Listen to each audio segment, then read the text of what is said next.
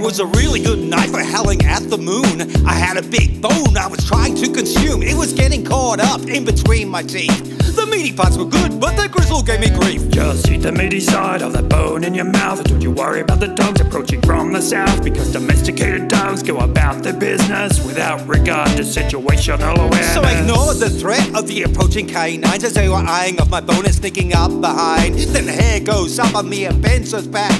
And defense turns into attack.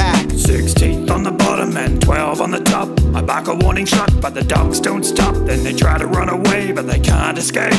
Ludes and Benzo had to dogulate. Woof woof woof woof woof woof woof woof woof woof woof woof woof woof woof woof woof woof woof